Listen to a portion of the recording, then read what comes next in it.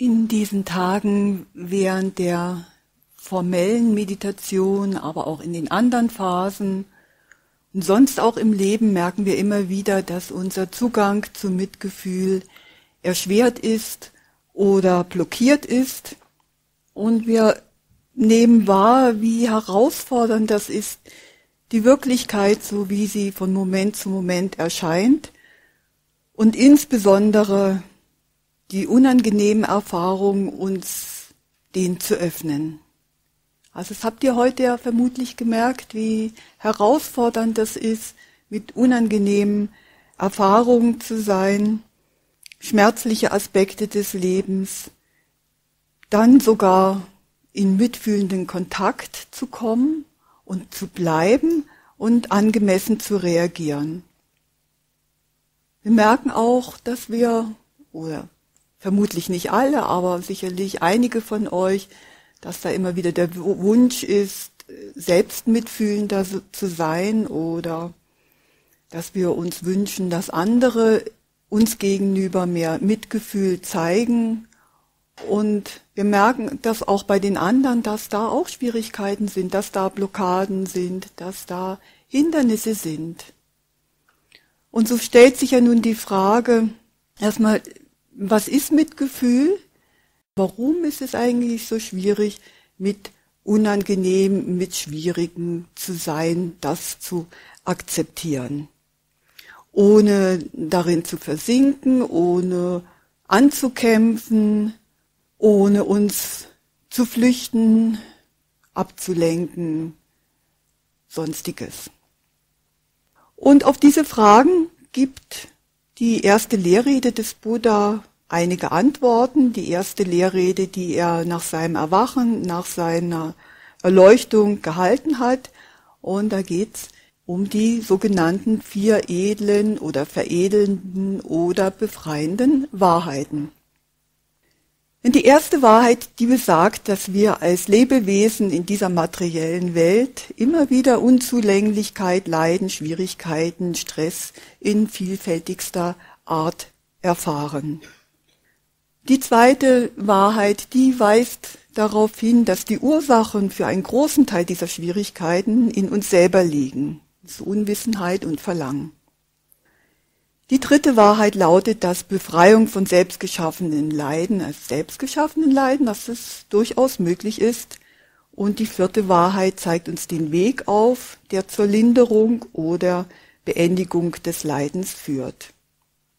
Ich werde die erste und die zweite Wahrheit erklären und Yuka dann die dritte und die vierte Wahrheit. In der damaligen Zeit, als der Buddha lebte, in dieser Kultur war es üblich, dass häufig Bilder, Metapher gebraucht wurden für wichtige Themen, um die zu veranschaulichen und so wurden auch die vier Wahrheiten in Form einer Metapher dargestellt, und zwar in Form des Diagnosemodell Krankheit, Heilung, Linderung, Rezept, so kurz gesagt. Also die vier Wahrheiten mit einer Krankheit und deren Heilung verglichen und da ist die erste Wahrheit, ist die Krankheit. Also das können wir ja auch selber bestätigen dass es Gründe gibt, warum wir hierher gekommen sind, dass es da Aspekte in unserem Leben gibt, die sind in irgendeiner Form schmerzlich, da ist Stress oder sonstiges und das ist jetzt so mal, sagen wir mal, die Krankheit.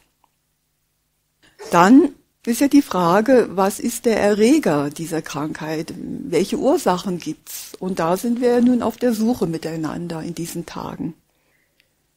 Und in der dritten Wahrheit, da ist nun die Frage, gibt's denn da Hoffnung, gibt's Heilung, gibt's denn noch wieder Gesundheit? Und da ist die optimistische Prognose, ja, das gibt's. Es gibt Heilung, es gibt Linderung, es gibt Gesundheit.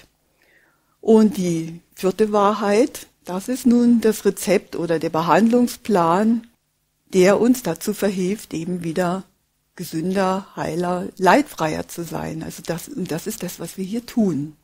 Also wir können auch sagen, wir sind hier wie in einer Art Kuraufenthalt, wo wir eben die Krankheit versuchen zu verstehen, versuchen auch die Erreger zu verstehen, den Behandlungsplan, soweit es uns möglich ist, durchhalten mit der optimistischen Prognose, ja, Heilung ist möglich. Also es ist eine sehr positive Botschaft, die der Buddha uns hinterlassen hat. Und er hat auch immer wieder gesagt, wenn wir gemäß seines Behandlungsplans, seine Anregungen und Methoden umsetzen, uns aufs Üben einlassen, dann ist Befreiung die Heilung des Herzens und Geistes von jeglicher Art inneren Leidens möglich. Und er weist dann auch, in vielen Lehrreden weist er ausdrücklich darauf hin, dass die Verwirklichung der vier Wahrheiten ein Weg ist, der zur Freude, zur Heilung führt, aber auch von Glücklichsein begleitet wird. Und das ist ganz wichtig. Also das ist nicht so was, dass erst da in der fernen Zukunft das Glück, die Gesundheit wartet, vielleicht irgendwann mal, vielleicht erst im nächsten Leben, sondern dass das, was wir tun, schon von Glück begleitet wird oder von Freude begleitet wird oder von Erleichterung, Linderung begleitet wird. Also auch in diesen Tagen erfahrbar. So, nun die erste Wahrheit, die ist des Leidens. Und der Buddha hatte für diesen Aspekt das Wort Dukkha gebraucht. Dukkha ist ein Wort aus der Pali-Sprache, in der die Lehrreden niedergeschrieben wurden. In der Zeit des Buddha und nach ihm gab es nur mündliche Tradition. Die Lehrreden wurden auswendig gelernt und man hat die mündlich weitergegeben. Und dann gab es eine Zeit, da hat man es niedergeschrieben und das war Pali. Nun, dieses Dukkha wird häufig als Leiden übersetzt. Ich werde es auch ab und zu Leiden bezeichnen, aber es hat eine große Bandbreite an unterschiedlichen Ausdrucksformen und Intensitätsgraden. Also mal so kurz gesagt, gemeint ist damit Schmerz oder Kummer, Unzufriedenheit, Unzulänglichkeit, Stress oder Disharmonie. Irgendwas stimmt nicht. Ganz klar können wir körperliches Leiden wahrnehmen, psychische Krankheiten. Es gibt Leiden, Schwierigkeiten im Zusammenhang mit Geburt, Altern, Sterben, Tod, das wird meistens genannt. Also der Buddha hat diese Aspekte genannt, diese elementaren Lebensaspekte, die sind mit Leiden verbunden. Dann gibt's aber auch Leiden im Zusammenhang mit Armut, mit Gewalt, Kriegen, Naturkatastrophen. Wir leiden unter Hoffnungslosigkeit oder Einsamkeit oder Eifersucht oder Depression oder Jezorn oder Süchten dann haben wir Angst vor Krankheiten, wir haben Angst vorm Sterben, wir haben Angst vorm Älterwerden. Das ist so meist klar bemerkbar und spürbar, wahrnehmbar.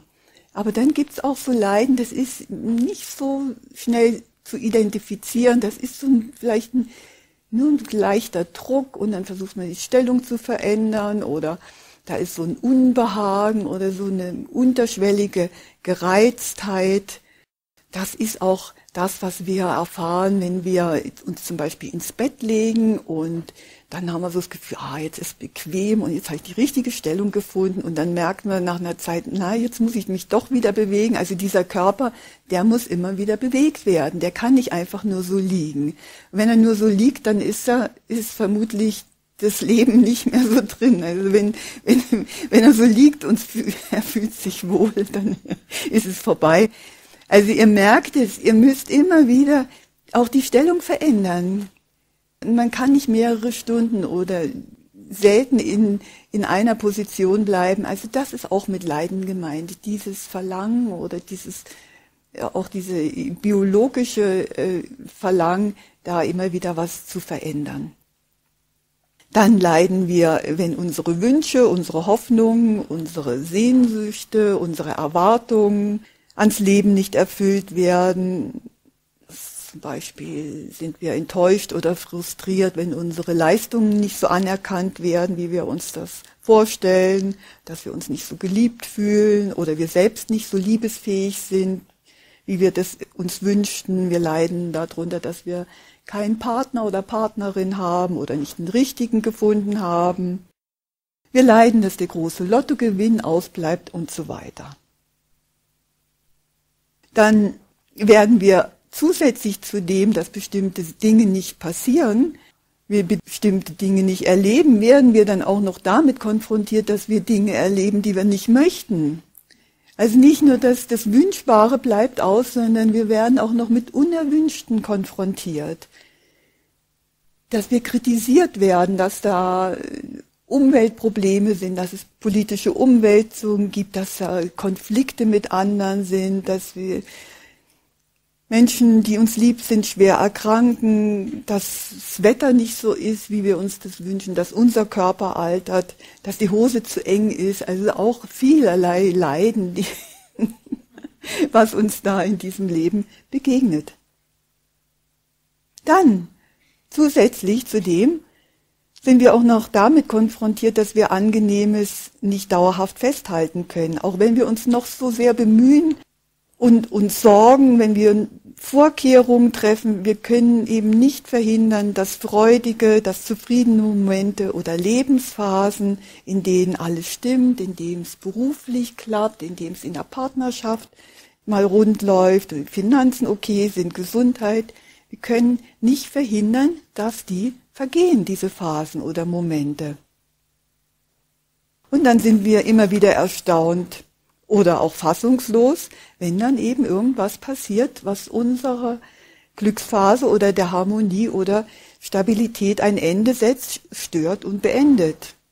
Im Team, in der Familie, in der Partnerschaft, so dieses Gefühl, jetzt war es doch gerade mal so schön und nun das. Warum passiert nun das? Also so dieses Fassungslose. Und dann manchmal sind wir es ja sogar selbst, die der Harmonie ein Ende setzen, die einen Konflikt anzetteln, weil wir den anderen zuvorkommen wollen. Um nicht verletzt zu werden, ist es besser, man setzt selber dem ein Ende. Es ist immer noch besser, das als ausgesetzt zu werden, einer Situation, wo es eben dann von alleine endet oder jemand anders uns zuvorkommt und uns damit verletzt. Oder wir setzen der Harmonie oder der Glücksphase ein Ende, weil sie sich abgenutzt hat, damit irgendwas läuft wieder. Das kann auch sein. Und ihr habt sicherlich gestern, heute erlebt, dass das eine oder andere aus dieser Palette aufgetaucht ist.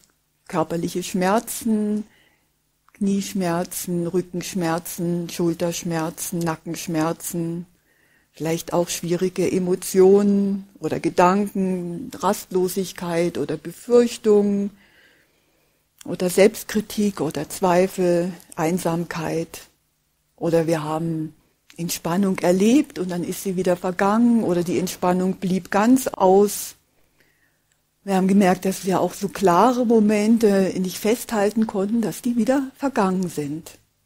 Erwartungen wurden eventuell nicht erfüllt an diesem Kurs. Erwartungen, die ihr an euch hattet, habt, Erwartungen, die ihr an Umgebungsbedingungen habt. Und da wir nun Menschen, Tiere, Pflanzen instinktiv den Impuls haben, uns vom Unangenehmen, also von diesem Dukkha, von diesem Leiden abzuwenden, beschäftigen sich ja nun zahlreiche Forschungszweige, Dienstleistung, Produktions-, Werbeunternehmen damit eben unser Leben komfortabler, länger andauernd, genussreicher zu gestalten. Also das steckt ja dahinter, hinter dieser ganzen, hinter diesem ganzen Konsum und diesem ganzen Apparat, steckt dahinter, dass wir Dukkha nicht ertragen können. Und die Botschaft lautet denn auch, dass wir durch Konsum oder spannendere Erlebnisse oder durch Selbstoptimierung eben glücklicher und zufriedener werden. Und wenn uns das nicht gelingt, dann haben wir einfach noch nicht das richtige Produkt gefunden. Also zum Beispiel die richtige, straffende, passende Creme, die wir brauchen, oder die Diät oder Online-Partnerschaftsvermittlung oder die richtige Meditations-App oder den richtigen Fitnessclub und, und, und. Also ihr wisst ja, was einem da versprochen wird und welche Hoffnung einem gemacht wird, wenn ich das oder jenes habe oder tue, dann bin ich vielleicht auch für andere attraktiver, für mich attraktiver und ich fühle mich wohler und bin zufriedener. Und das alles baut eben auf dem Ganzen auch Dukkha. Und so ist es denn eben auch schwierig, gerade in der heutigen Zeit ist es sehr schwierig, wo eben uns auch so viel zur Verfügung steht, sich eben so Probleme oder diese Unerfülltheit so ehrlich einzugestehen, ohne ein Gefühl des Versagens zu haben oder der Schuld zu haben. Weil häufig fühlen wir ja, nicht alle von uns, aber manche von uns, uns ja dann auch noch so schuldig wir, oder so das Gefühl, wir machen es nicht richtig. Wenn wir es richtig machen würden, dann würde uns dies oder jenes erspart bleiben und wir könnten eben uns diese Unannehmlichkeiten oder die Unzulänglichkeit vom Hals halten, vom Leib halten. Und so ist es denn eben wirklich eine große Erleichterung und Entspannung zu akzeptieren, dass Unzulänglichkeit, das gehört zum Leben, zum Menschsein, gehört es dazu. Dukkha, das gehört dazu. Und so hat dann der Buddha auch gesagt, diese erste Wahrheit, die muss erkannt werden, die muss verstanden werden. Da führt kein Weg dran vorbei. Wenn wir einen Weg hätten, der da dran vorbeiführen würden, würde, wir würden ihn euch zeigen. Aber unsere beide Erfahrung zeigt, es führt kein Weg vorbei.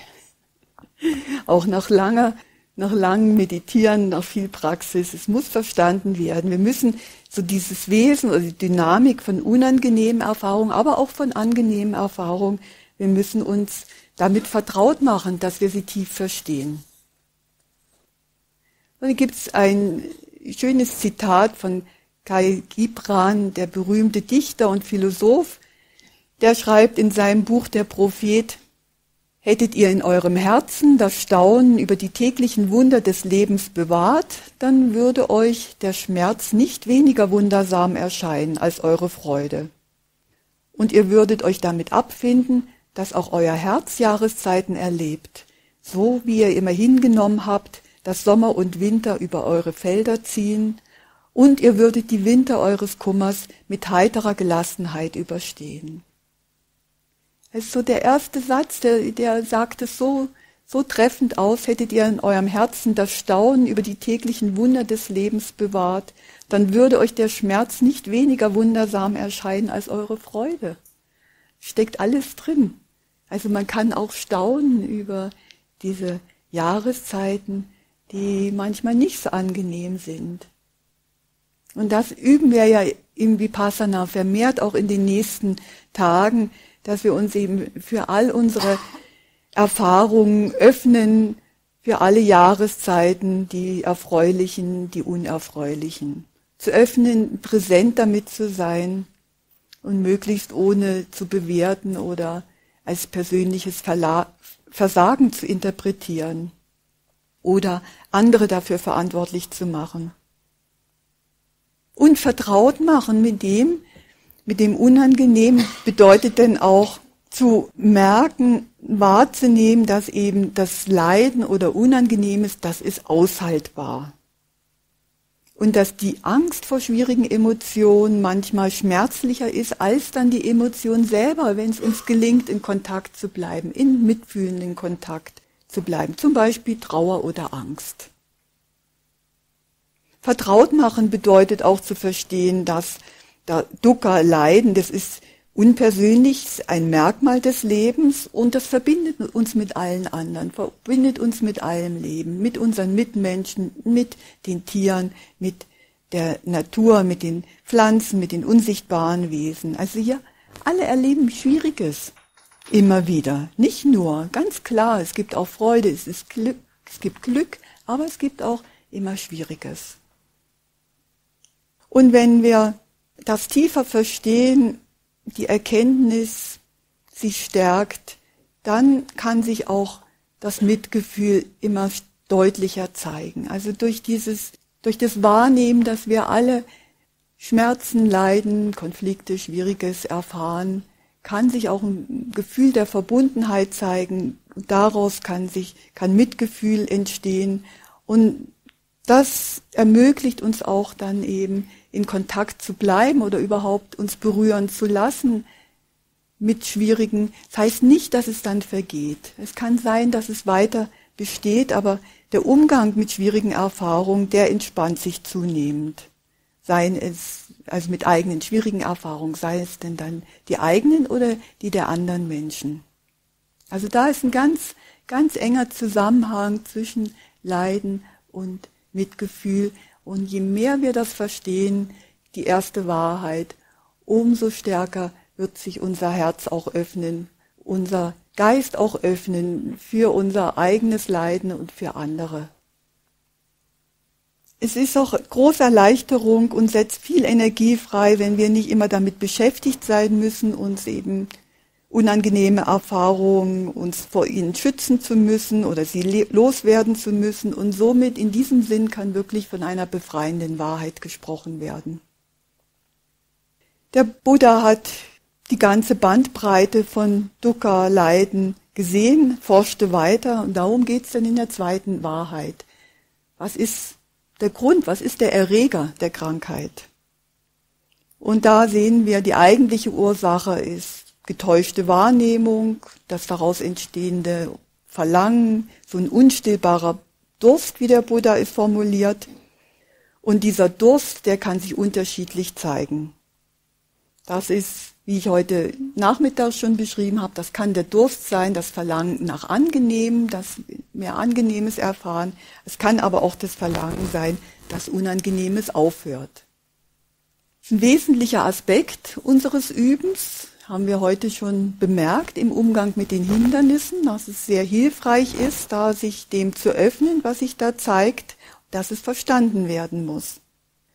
Verlangen ist eine notwendige Voraussetzung für unsere menschliche Entwicklung, ganz klar.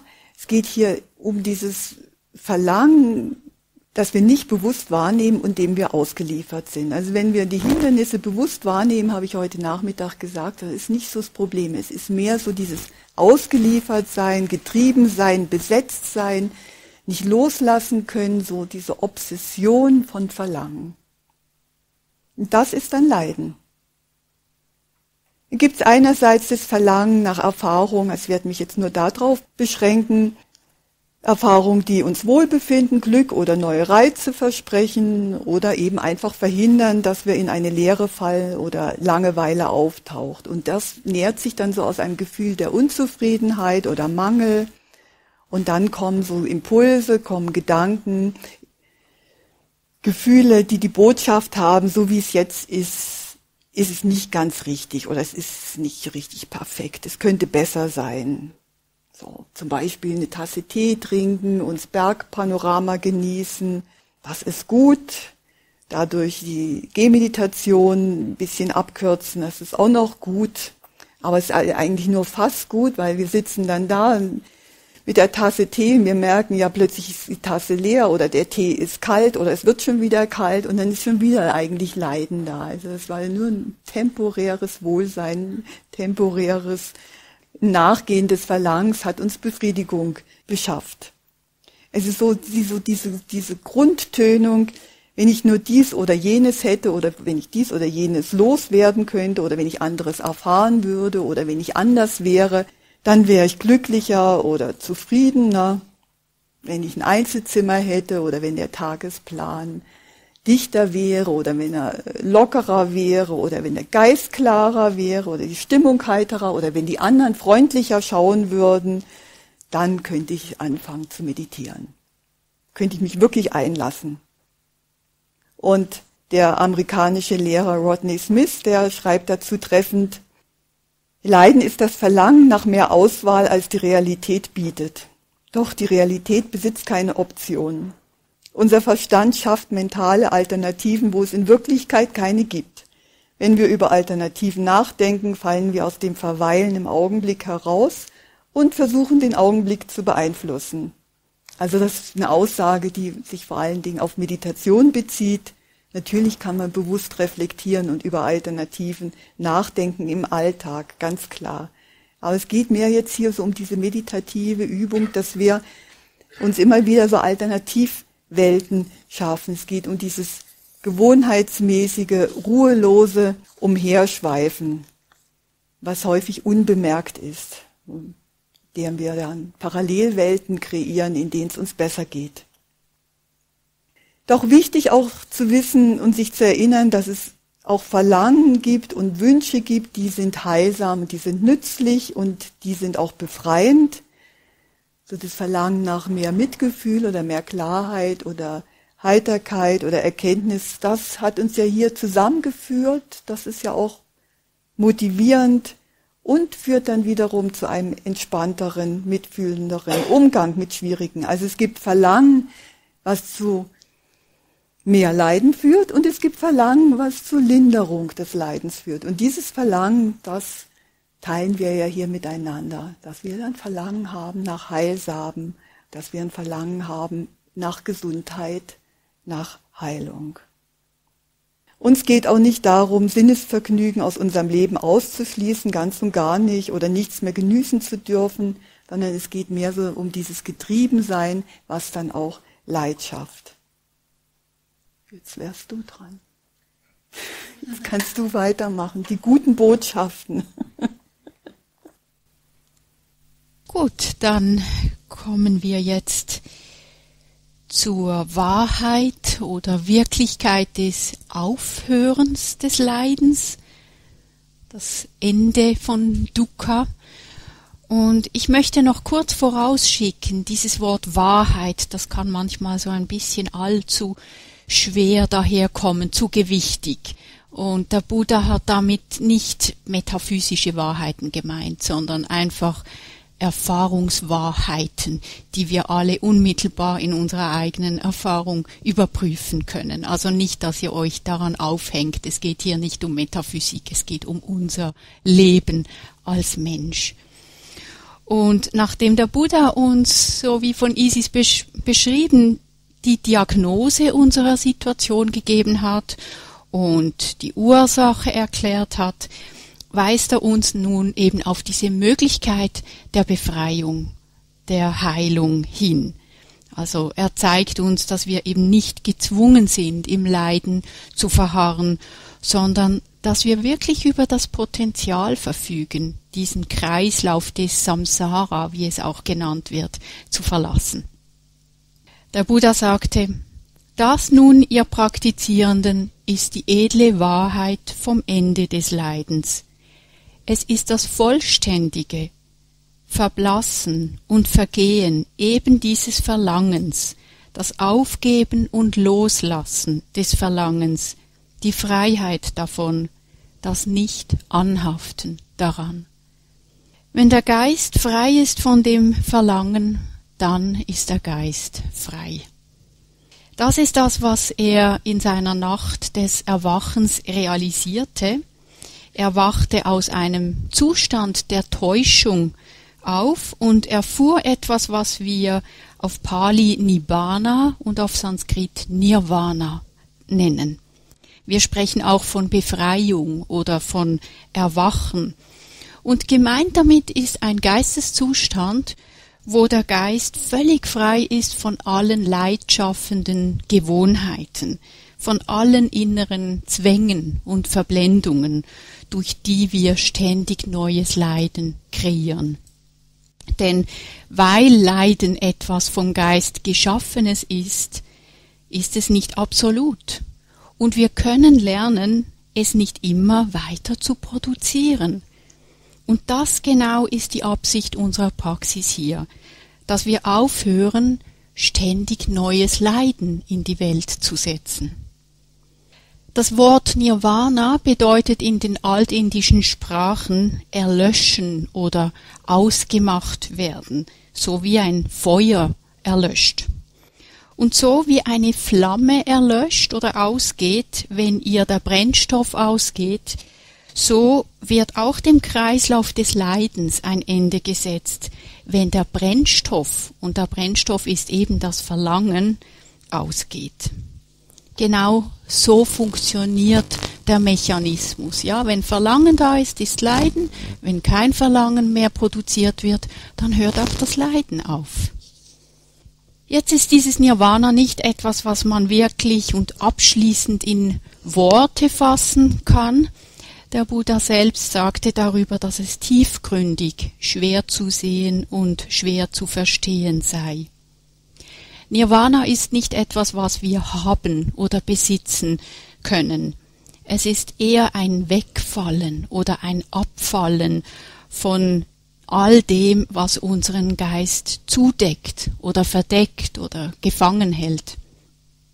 Es bezieht sich auf einen Geist, der von allen Täuschungen, von allen Schleiern frei ist.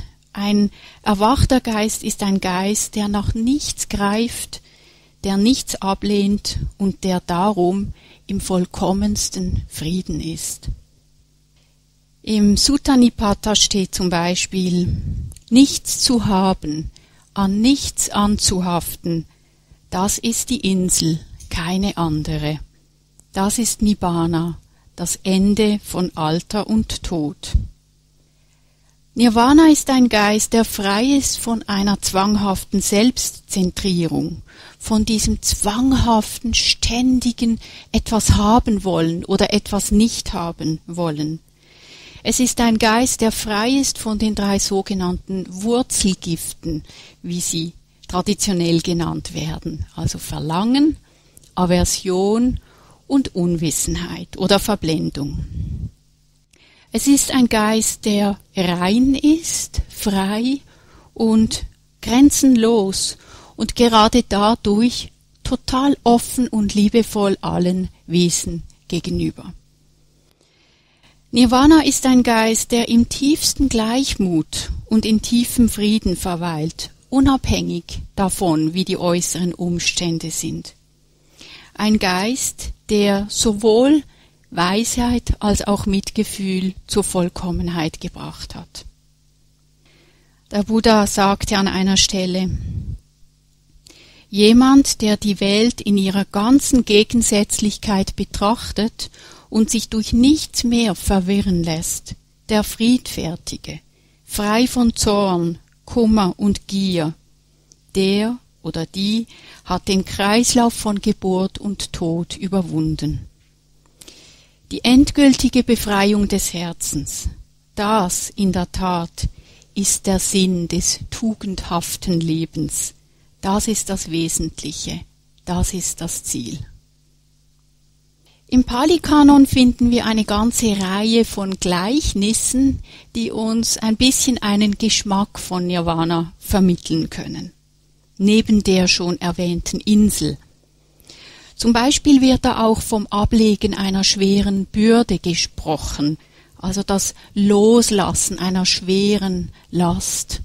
Wenn wir so lange schwere Einkaufstaschen getragen haben und sie endlich hinstellen können. Dieses Gefühl, das geht in Richtung von Nirvana. Oder Nirvana als die Heilung einer schweren Krankheit. Oder Nirvana als Furchtlosigkeit. Nirvana wird auch als das andere Ufer beschrieben, als das sichere Ufer. Es wird als tiefer Frieden beschrieben oder als höchstes Glück. Und es ist interessant zu sehen, wie reagiert unser Geist auf solche Beschreibungen. Sprechen sie irgendetwas an in uns? Können wir uns irgend so etwas überhaupt vorstellen? Oder spüren wir vielleicht eine gewisse Abwehr oder Skepsis, weil uns eine solche Idee von Befreiung oder Nibbana zu abgehoben, zu weit hergeholt erscheint, zu übertrieben. Ist einfach gut, das zu bemerken im eigenen Geist, egal wie es für euch ist. Manchmal hat diese Skepsis damit zu tun, dass die Idee von Nirvana gar nicht zu unserem Selbstbild passt. Wir haben vielleicht ein bestimmtes Selbstbild entwickelt, das es uns dann schwer macht, diese Möglichkeit des Erwachens auch nur in Betracht zu ziehen. Und dann denken wir, ich, also ich bin eine völlig gewöhnliche Person, ich bin einfach so ein Wesen da, ich soll erwachen, das scheint irgendwie schwer vorstellbar. Und es ist doch schade, wenn wir uns durch ein Bild einfach ein biografisch entstandenes Bild limitieren lassen. Denn können wir wirklich wissen, wozu wir fähig sind, wenn wir es gar nicht erst versucht haben? Die Lehre von Nirvana ist eine radikale Lehre, dessen bin ich mir bewusst und auch, dass nicht alle Menschen etwas damit anfangen können. Aber vielleicht finden wir einen Zugang zu dieser Idee, wenn wir Nirvana nicht nur als so etwas verstehen, was da irgendwo an einem fernen Tag in der Zukunft, vielleicht in vielen, vielen Äonen passieren wird, sondern eine andere äh, Vorstellung auch entwickeln. Ohnehin ist Erwachen oder Erleuchtung, wie auch immer man das nennen will, nicht etwas, was bei den meisten Leuten einfach so auf einen Schlag passiert. Viel eher ist es bei vielen Menschen so ein gradueller Prozess über viele, viele Jahre hinweg. Und wenn wir das so anschauen, dann können wir Nirvana auch als all jene Momente verstehen, jetzt schon. All jene Momente, in denen der Geist relativ frei und relativ gelöst ist. Also wir alle erleben schon solche Mini-Nirvanas auf einer Mikroebene, wenn der Geist einfach temporär loslässt, wenn uns das Herz aufgeht, wenn wir für einen Moment mal nicht gefangen sind in selbstbezogenen Interessen und in irgendwelchen Zuständen von Zorn oder Neid. Und es ist sehr, sehr wichtig und hilfreich, genau auf solche Momente zu achten und sie bewusst wahrzunehmen. Also jedes Mal, wenn ihr das bemerkt in eurem Geist, dann macht euch innerlich eine Notiz. Ah, so fühlt sich ein Geist an, der im Frieden ist. Durch dieses bewusste Wahrnehmen werden wir mehr und mehr vertraut mit dem Geschmack von Freisein, von Leichtigkeit, von in der eigenen Mitte sein. Sind all diese Momente, in denen wir frei sind von Erwartungen oder Ansprüchen, dass dieser Moment jetzt anders sein sollte, als er gerade ist?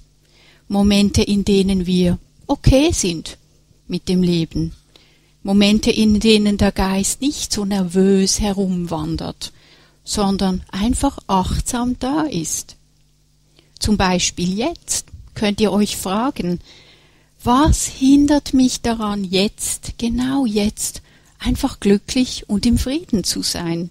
Wir haben keinen Hunger, es herrscht kein Krieg, es ist einigermaßen warm, es ist, ja, ist ziemlich okay könnte ich mich einfach in diese Erfahrung hineinentspannen und diesen Moment einfach annehmen und inmitten von allem, was jetzt gerade sein mag, inmitten vielleicht von Rückenschmerzen, Trennungsschmerzen, Schläfrigkeit, so ein Okay-Sein finden?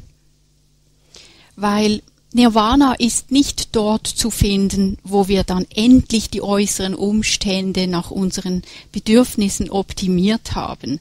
Also dort, wo dann die richtige Raumtemperatur herrscht und äh, wo wir das richtige Sättigungsgefühl haben, nicht zu voll, nicht zu leer, wo die Umgebung unseren ästhetischen Wünschen entspricht, ähm, sondern Einfach da in unserem Geist, da finden wir Nirvana.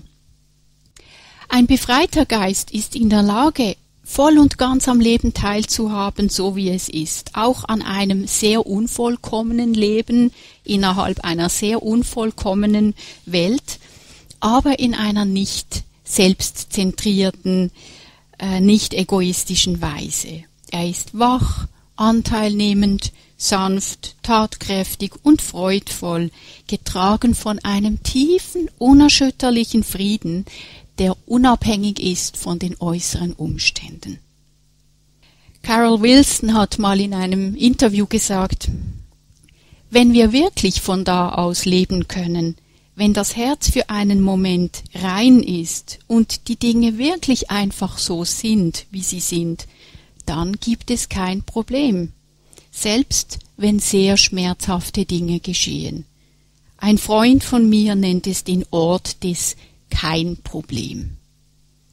Und wir können uns ein bisschen hineinfühlen. Wie fühlt sich meine Erfahrung an, wenn jetzt gerade kein Problem wäre?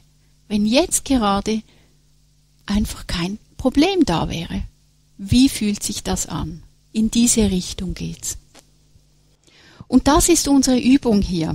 Wir üben uns darin, anwesend zu sein mit allem, was gerade da ist und kein Problem daraus zu machen. Schmerzen, Langeweile, dicke Luft, mal ist es zu heiß, mal ist es zu kalt. Okay, ja. Wir üben uns einfach diese nervöse Reaktivität ein bisschen abzubauen, ein bisschen zu entspannen. Also es geht hier wirklich nicht, und das möchte ich betonen, nicht um ein Glaubenskonzept, dass wir an Nirvana glauben müssten, sondern es geht um das Erforschen unseres eigenen Geistes, damit wir anfangen zu sehen, wo und wie wir Leiden produzieren und wo und wie wir das Leiden auch wieder beenden können, selbst wenn es nur temporär ist. Ja, dann kommen wir zur vierten edlen Wahrheit oder zum Pfad, der zum Aufhören des Leidens führt. Also nachdem der Buddha gezeigt hat, dass die Prognose gut ist, zeigt er nun in diesem, in dieser vierten edlen Wahrheit auf, wie wir dahin gelangen können. Weil so wie das Leiden seine Ursachen hat, gibt es auch bestimmte Ursachen oder Bedingungen, die zu Erwachen führen können. Er zeigt, dass Erwachen nicht einfach zufälligerweise passiert, sondern dann, wenn die geeigneten Bedingungen zusammenkommen. Und wir haben es in der Hand, das ist das, was wir hier tun, wir haben es in der Hand, die Bedingungen so zu gestalten und zu kultivieren, dass die Wahrscheinlichkeit von Erwachen größer wird.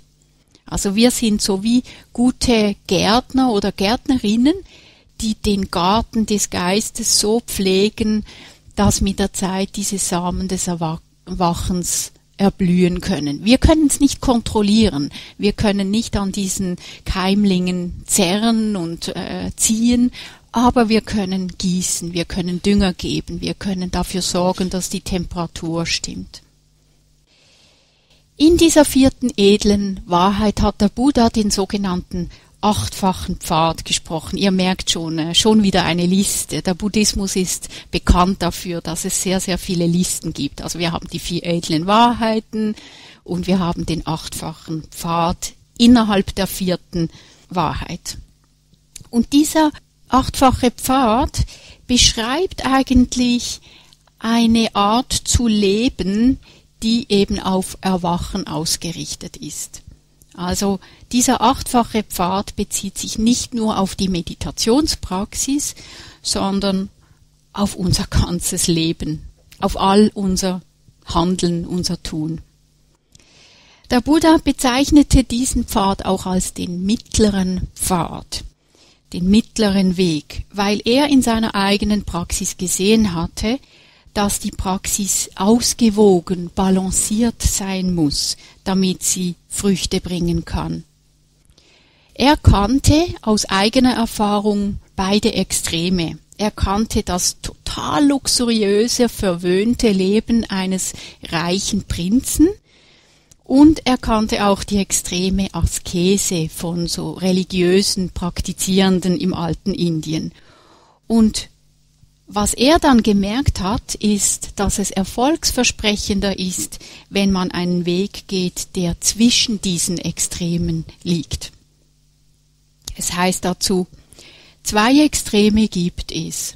Die völlige Hingabe an sinnliche Vergnügungen, die niedrigen, gemeinen, gewöhnlichen, und die völlige Hingabe an die Selbstabtötung, die schmerzliche, profane, sinnlose, Beiden Extremen ist er vollkommene entronnen, und er hat den mittleren Weg gefunden, der Klarheit und Erkenntnis verleiht, der zum Frieden, zur Einsicht, zu Nirvana führt. Dieser achtfache Pfad umfasst diese folgenden acht Glieder rechte Erkenntnis, rechte Gesinnung, rechte Rede, rechtes Tun, rechter Lebenserwerb, rechtes Bemühen, rechte Achtsamkeit und rechte Sammlung. Und auch wenn jetzt diese Glieder so in einer Reihenfolge angeordnet sind, ist es nicht so, dass wir sie so eine nach der anderen durchlaufen und sie dann hinter uns lassen. Wir können sie eher so wie Facetten verstehen, die zusammenwirken und die sich auch gegenseitig stützen. Manchmal ist für uns vielleicht der eine Aspekt mehr im Vordergrund und dann ein anderer. Und interessant finde ich, dass, obwohl sie eben keine Sequenz darstellen, die rechte Erkenntnis als erstes Glied genannt wird und das aber zugleich die rechte Erkenntnis in einem anderen Sinn als die höchst entwickelte, die tiefste Einsicht, also Verwirklichung oder Erwachen verstanden wird. Also Erkenntnis bildet einerseits den Anfang des gesamten Weges und auch das Ende. Es mündet in tiefster Erkenntnis. Am Anfang des Weges ist rechte Erkenntnis das erste und noch bruchstückhafte Verständnis, das uns zum Praktizieren bringt, dass wir anfangen zu verstehen, warum wir praktizieren, was das soll. Vielleicht einfach das Gefühl, ja, da stimmt was nicht und ah, das tönt interessant, das macht mir Sinn. Und in einem volleren Sinn bedeutet rechte Erkenntnis dann ein Verständnis der vier edlen Wahrheiten, eben das, was wir da heute erzählen, und nicht nur ein intellektuelles Verständnis, sondern letztlich ein meditatives Durchdringen dieser vier edlen Wahrheiten. Dann haben wir die rechte Gesinnung. Das ist dann eben der zweite von diesen acht, das zweite von diesen acht Gliedern. Rechte Gesinnung, man könnte auch sagen, die rechte innere Haltung. Es hat mit Absicht zu tun, mit Ausrichtung.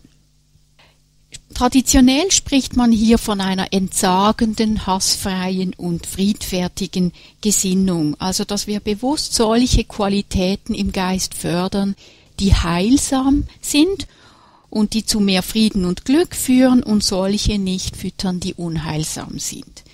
Entsagung konkret ist das Gegenteil von Verlangen. Das heißt, es ist eine innere Haltung, die bereit ist, diese Obsession, die wir oft haben, mit Besitz, mit Geld, mit Status, mit Komfort, mit äh, Ruhm, mit Genuss, aufzugeben. Und das können wir, wenn wir anfangen zu verstehen, dass eine viel tiefere Freude möglich ist, wenn wir bereit sind, das loszulassen. Diese innere Haltung von Hassfreiheit und Friedfertigkeit ist eine innere Haltung dann von liebevollem Umgang, eine liebevolle Haltung, die wir kultivieren auf diesem Pfad uns selbst gegenüber und den anderen gegenüber. Dann haben wir die nächsten drei Elemente, rechte Rede, rechtes Tun und rechter Lebenserwerb, die sich alle auf ethisches Handeln beziehen, weil ethisches Handeln wirklich das Fundament einer spirituellen Praxis darstellt. Bei der rechten Rede geht es um wahrhaftes Sprechen, um Ehrlichkeit, es geht um liebevolle Rede. Es geht darum, dass wir niemandem schaden und niemanden verletzen durch unsere Worte. Dazu gehört auch, und das ist manchmal gar nicht so einfach, ähm, zu verzichten auf negative, negativen Klatsch über abwesende Personen. Und es gehört dazu, dass wir so sprechen, dass unsere Worte zu mehr Verbundenheit und mehr Versöhnung beitragen. Rechtes Tun bezieht sich dann auf die ethische Ausrichtung in all unseren Handlungen. Gestern Abend habe ich ja ein paar Worte so zu ethischen Richtlinien gesagt. Also, dass wir nicht töten, nicht stehlen, dass wir kein sexuelles Fehlverhalten begehen, äh, kurz, es geht um ethische Integrität. Ein Leben zu leben, bei dem wir so gut wir es können vermeiden, andere Lebewesen zu schädigen. Der rechte Lebenserwerb betrifft dann die Frage, wie wir unsere materielle Existenz in einer ethisch vertretbaren Art und Weise sichern können. Und hier versuchen wir, das ist irgendwie logisch, Berufe zu vermeiden, Tätigkeiten zu vermeiden, wodurch wiederum Lebewesen geschädigt werden könnten.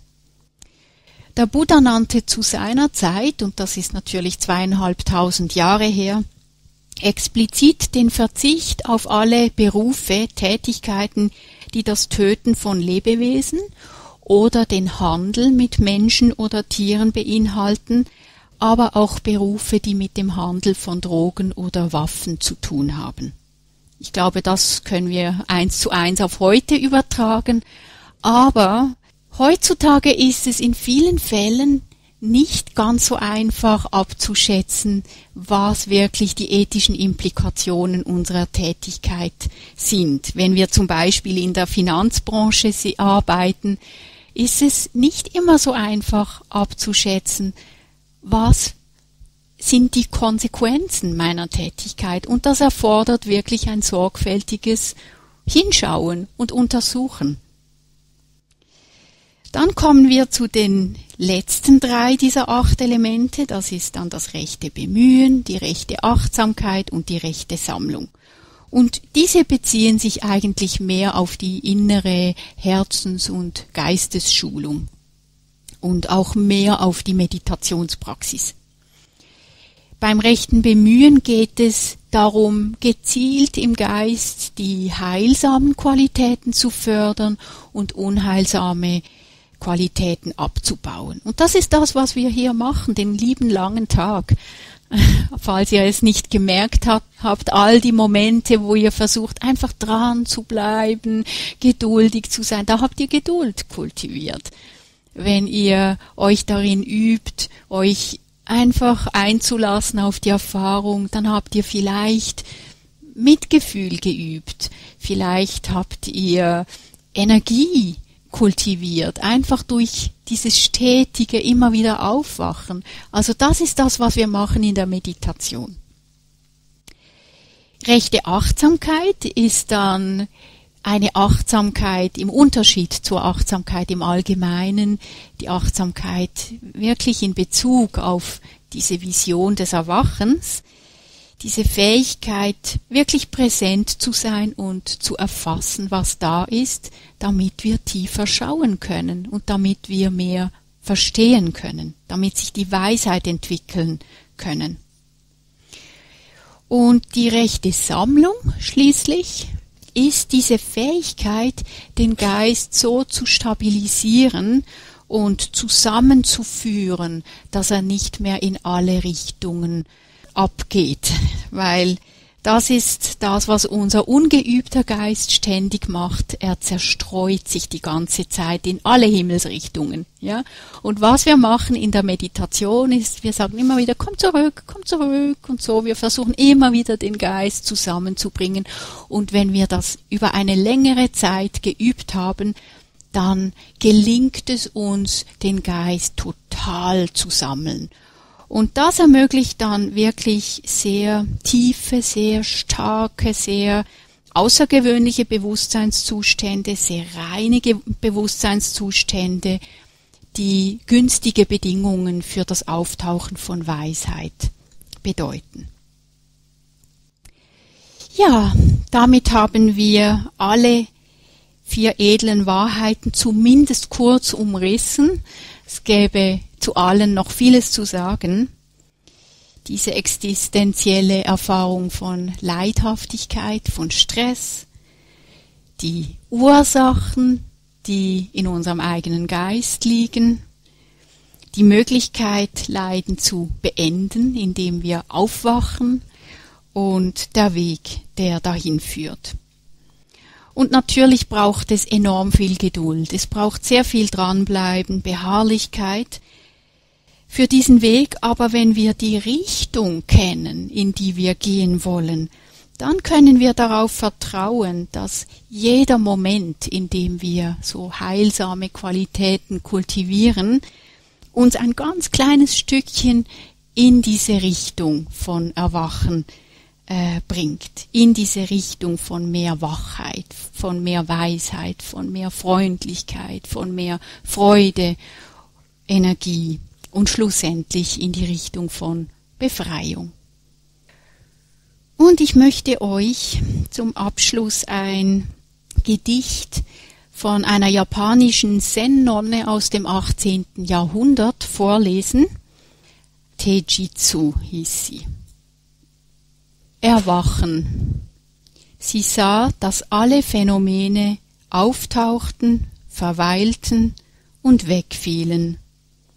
Sie sah, dass dieses Wissen selbst auftauchte, verweilte und wegfiel. Dann wusste sie, dass es nichts weiter gab als das, kein Grund, nichts, worauf man sich hätte stärker stützen können als auf den Stock in ihrer Hand, gar nichts, worauf man sich hätte stützen können, und niemand, der sich stützt.